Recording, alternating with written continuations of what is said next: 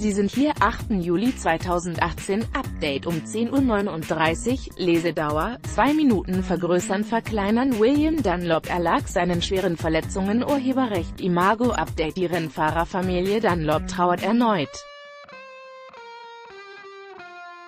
William Dunlop stürzt im Training und erliegt seinen Verletzungen. Es ist bereits der dritte Todesfall in der Familie. Die nordirische Rennfahrerfamilie Dunlop muss den dritten tödlichen Unfall verkraften.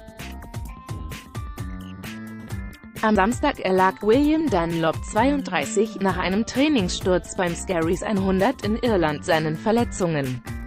Das gaben die Organisatoren der Rennveranstaltung bekannt. Die Dunlops sind traditionell bei Straßenrennen aktiv. Williams Vater Robert war 2008 beim Northwest 200 in Nordirland überrollt worden und verstorben. Sein Onkel Joey verunglückte 2000 bei einem von ihm selbst organisierten Rennen in Lettland. William Dunlops jüngerer Bruder Michael, 29, ebenfalls beim Scaries 100 am Start, hat 18 Mal die berühmt-berüchtigte Isle of Man Tourist Trophy gewonnen. Punkt. Erfolgreicher waren nur sein Onkel Joey, 26, und der Engländer John M. Guinness 23.